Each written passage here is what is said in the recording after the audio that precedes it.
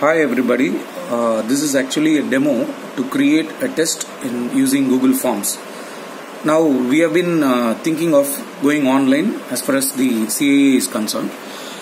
Earlier uh, there was a video circulating among us how to prepare a test using Google Form. Now this video gives you more insight into that, telling us how we can improvise the test and make it student friendly as well as uh, we can ensure that the test is foolproof. That is, the students will not be able to copy as much as possible.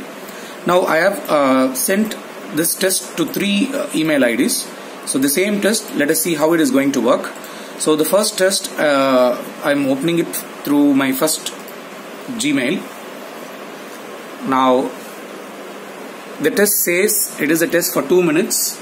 So, again, I go to this second uh, link, I open it again the test says it is for 2 minutes so I've added a timer.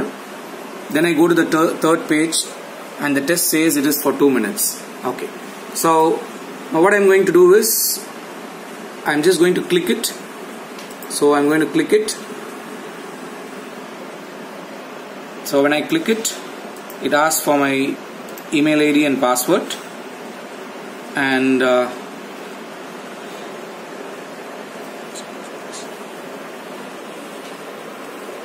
sorry uh, it says open the form. So I'm just clicking it and my form opens it. Okay. Similarly I have I just uh, sign in with Google. So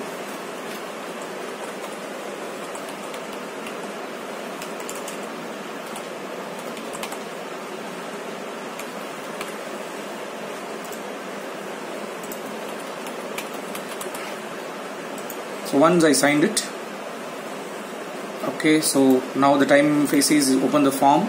Now here you can see the timer is running and here also you can see the timer is running.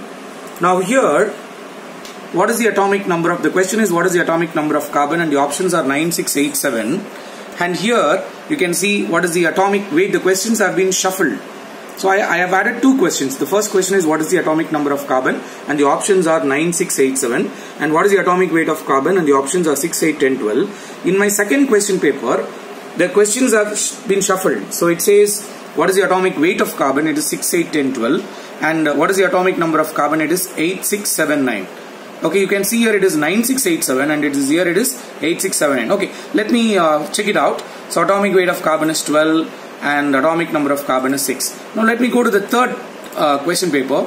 So I'm going to sign it with, uh, I'm going to sign it.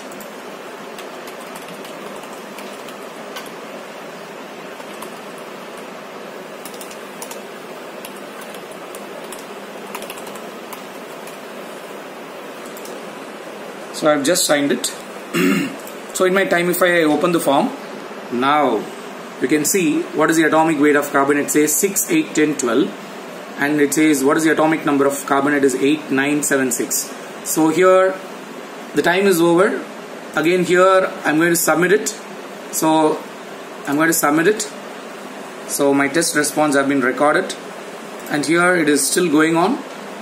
So there is a provision that we can shuffle the question. And there is a provision we can shuffle the options and there is a provision we can add a timer. So these are the three safety measures which can add up to our uh, question paper. So each and every individual student will will have a question paper where the questions are shuffled and the options are shuffled and also a timer running. So this is again a very wonderful tool which everyone can use it. But uh, uh, the basic problem here is I'm going to submit it here. The basic problem here, so I have submitted now I can actually uh, go to my thing. I can uh, I can go to my options. So I can uh, see the analytics.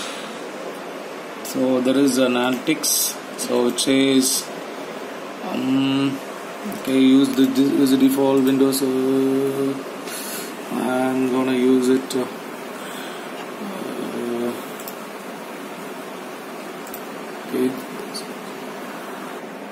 so if uh, the time is over the system automatically shuts down and the answer, answers are not uh, recorded. And if we submit the form correctly before the time it says the form is successfully submitted. And uh, again uh, we can view everything here in this Timify app so let me come back with another video where I will explain briefly about this add-on feature that we can add up in our Google form. Um, thank you